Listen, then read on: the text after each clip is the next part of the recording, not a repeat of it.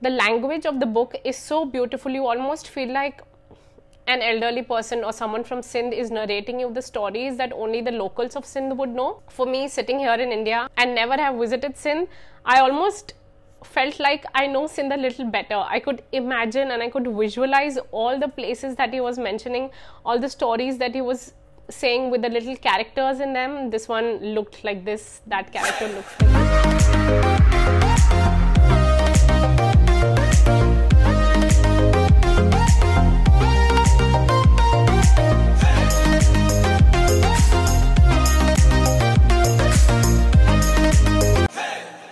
feels like ages since I last did a book video.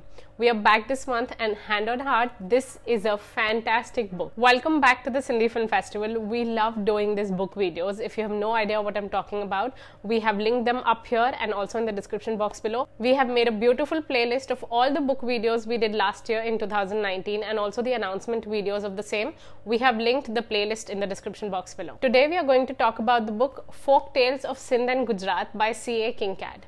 First, let's talk about a quick few facts about the book. The title of this book is Folk Tales of Sindh and Gujarat. It is written by C. A. Kincaid. This book was first published in Karachi in 1925, almost a hundred years ago. The book that I hold in my hand is a reprint by the Asian Educational Services and it was reprinted in New Delhi in the year 2000. This copy is priced at Indian rupees 335. Okay, now let's dive into the book.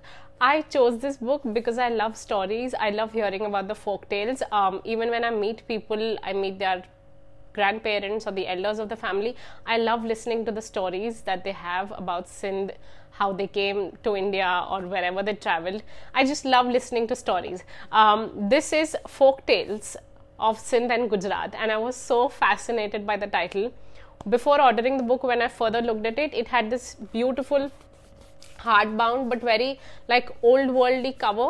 Um, the embossing is in gold color and i was like oh my god this is a beautiful copy. I'm just very happy it's still available considering that it was first published about 100 years ago. This book is written by c.a kincaid um, aka charles augustus kincaid According to Wikipedia, Charles Augustus Kincaid was a High Court judge in colonial India and also a prolific writer.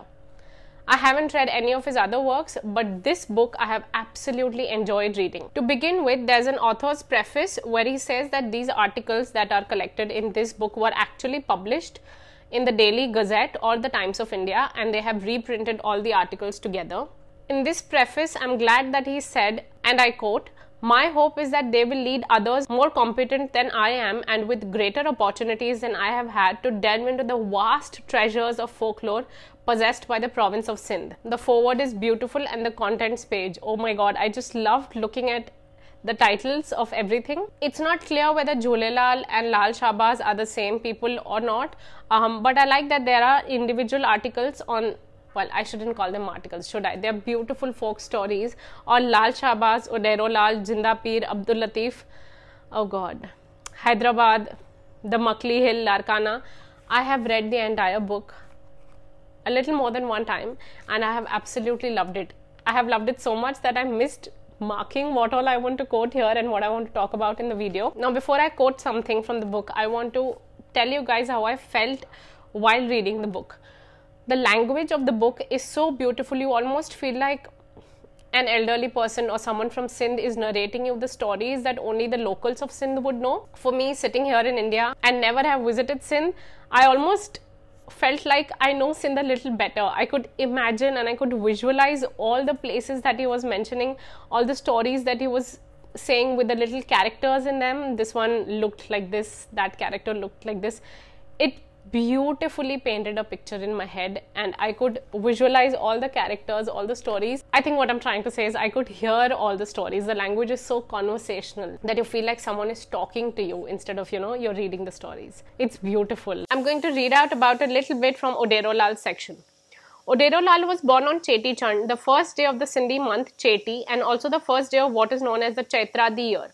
The year that begins with the month of Cheti or Chaitra instead of the month of Kartik.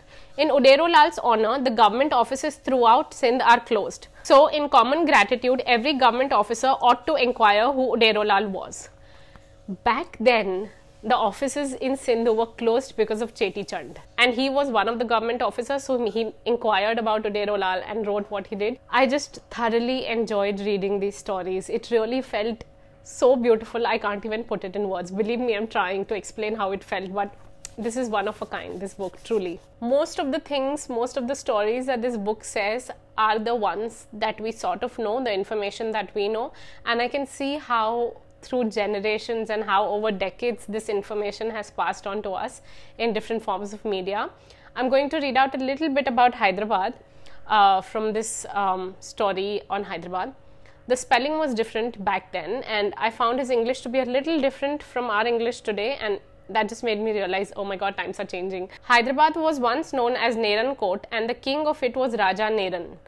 It goes on further to describe the Raja's daughter, and there are beautiful stories. And I like how all the Hindu Muslim characters together exist in Sindh in the stories and also in reality, of course. For example, this uh, story on two love tragedies, Kutteji Kabara and Mausam Shah. So I actually want to go and see this tomb of the dog in Sakhar if I get a chance to visit Sakhar. But I was making these mental notes about which all places I want to visit in Sindh if I get a chance to visit it. I really want to visit all these places, Sadh Belo and Larkana and and so on and so forth. I'm yet to read the Gujarati folk stories, but the section on roundabout Na- Nasik talks about the chief temple in Nasik is known as Kapileshwar. I'm like, oh my god, this is here, you know, like in Maharashtra. It felt really nice to read his version of the places that we visit today. I'm sure C.A. Kincaid would have never imagined that a hundred years later, a Sindhi girl sitting in Bombay would be making a video about his book, but that's how life is. Now, if you're wondering if you should buy this book, please allow me to help you. If you know anybody, friends, family, relatives who love stories, who love folk stories, who are interested in history, in knowing their culture, but not in a very heavy way, this is the one for you or for them. Um, even for you, I think the fact that it's still available is a huge deal. I was a little scared that I might get an email that the book is no longer available. Sorry, we can't deliver. It almost feels like a heritage book to me, written by a non Sindhi person about Sindh. It would be a fantastic addition to your collection on Sindhi books. Once again, I would like to remind you that these videos are not book review videos. I do not review books. I come here and discuss with you about the books that I really like. I take a lot of time to hunt for good books, the ones that I want to talk about on this channel, and I feel like bringing along books that are lesser known.